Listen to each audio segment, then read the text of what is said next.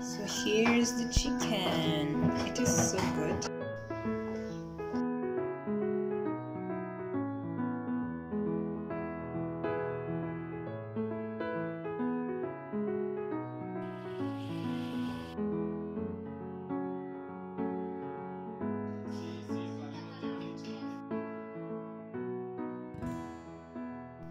This one is clashing with my.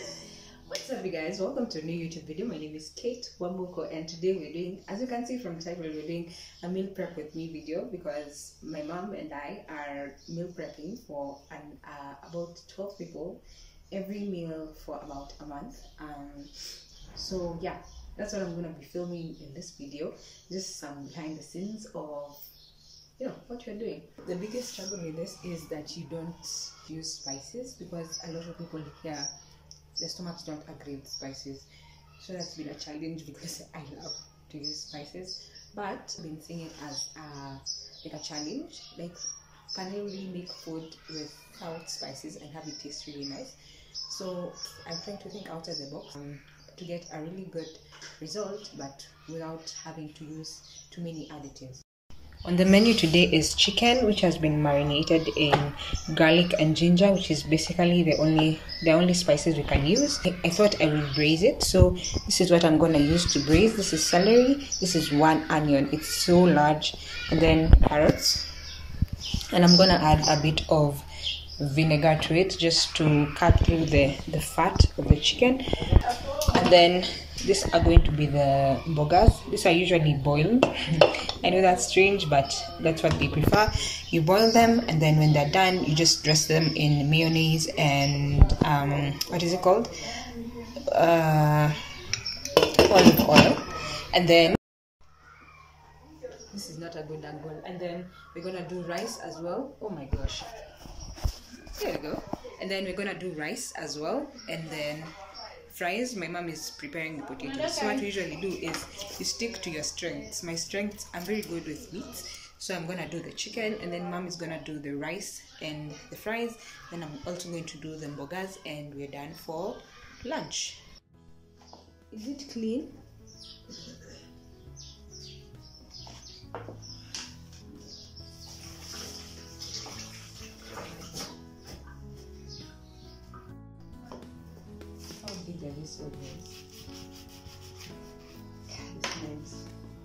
Hii knife nayo.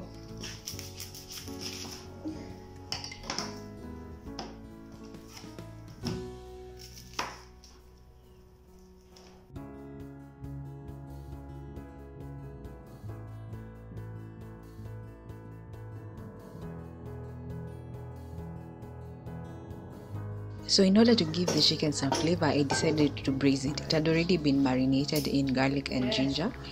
And um, what you do when you're braising chicken or braising anything is you first brown it in some oil. Just brown it to give it some color. Um, you don't have to cook it all the way through. You just cook it in very high heat.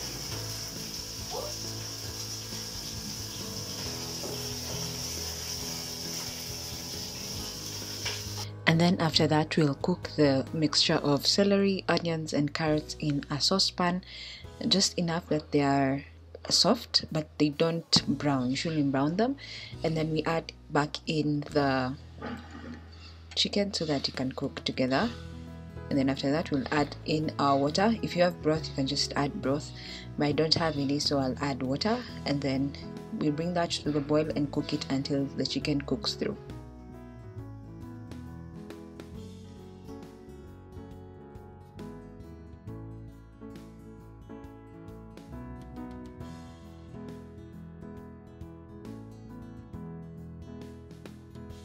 So you can see these are all the fries we are cooking. And then we are cooking them. We're supposed to cook them in this pan on this jiko. But it's really impractical because it will take forever to cook them on this pan. That's why we have this young little miss bringing us a large pan. We just got our pan from home so that we can cook a batch of mini at a time. This is it. Hi, Nani. Hi. This is my sister. Yeah. Yeah. Yeah. cute. I ended up cooking the rice. Um, we've been cooking turmeric rice um, almost every day. So what you do is just uh, fry some onions. Uh, once they are fried through, add in your rice, your turmeric, your salt, and then cook that together for about five minutes or until the rice starts shaking the bottom. And then add in your water and you're done. And by you're done, I mean boil it until it's cooked through like you normally would and yeah it will come out nice and yellow and delicious wow you are such a hard worker. Here the fries as usual we usually add raw onions so that they have the onion flavor. Just waiting for this to work out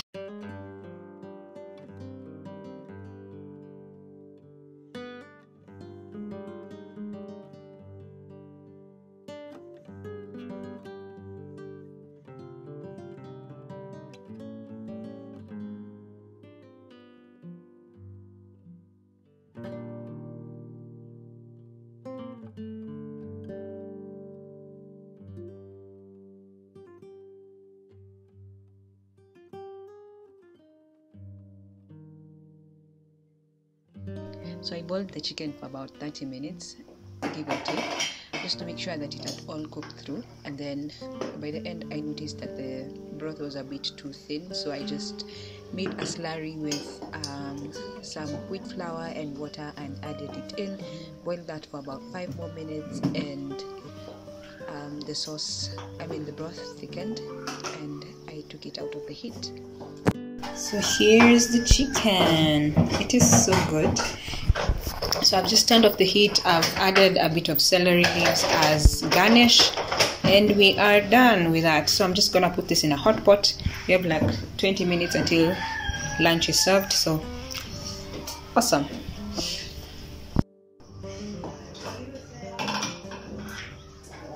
I wasn't able to take a shot of the whole meal, but um, you've seen the chicken, you've seen the fries, um, you've seen the rice. Um, you've seen them all separately, and then this one, the boiled vegetables. Um, usually, to cook this, you just boil them until they are really soft because that's what they prefer, and then it's dressed in mayonnaise and olive oil, but you just dress it depending on what you prefer. You just dress it on your plate. So, yeah, that's the whole meal.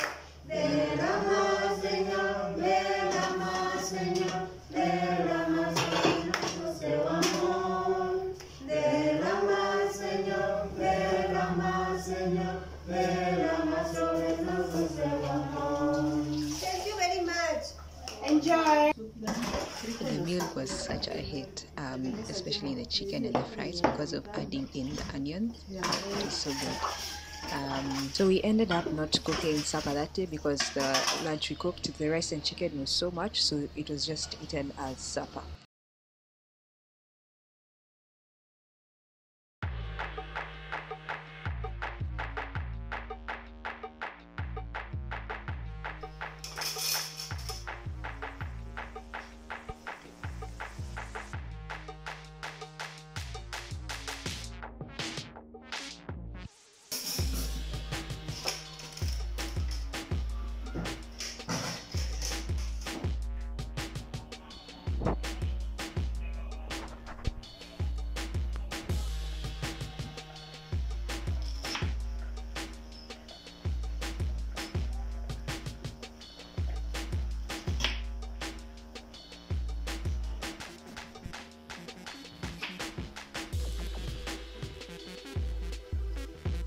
On the menu today we have turmeric rice with garnished with carrots and peas.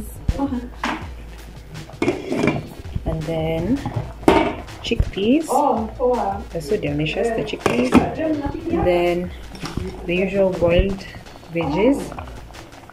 This one's already done. And then we have beetroot that's boiling that will be put here. I'll show you how we'll do that. And then we have fruit as well.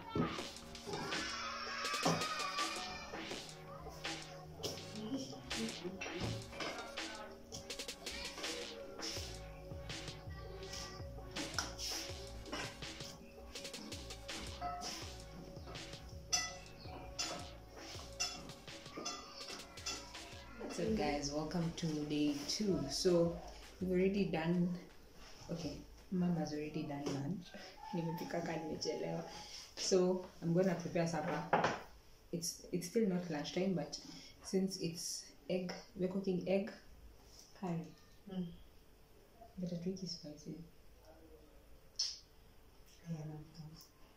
Tatengeneza tu tomato sauce ya garlic na tomato na celery. Na, bay leaves. na carrot na Mm. Yeah, so we are we are doing an egg egg in sauce, like eggs in purgatory type thing. So I'm gonna prepare that so that we leave early today. This is how the salad turned out. Um, unfortunately, I wasn't there in the morning, so I, I wasn't able to film how mom cooked these chickpeas because they were absolutely delicious.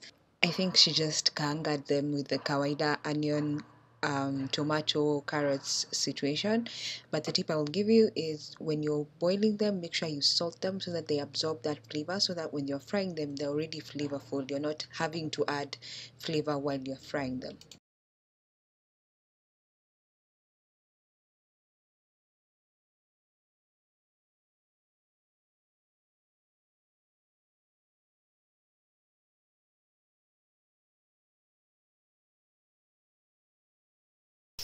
We have a lot of tomatoes here because I don't know how many they are, I don't remember, but it's a lot because it's a tomato based dish.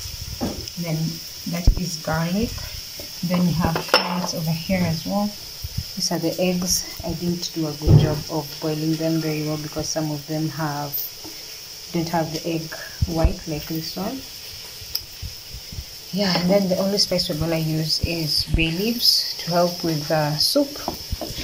So I'm frying some onion over here, and then we'll add the garlic and everything else. Cook it down for a bit.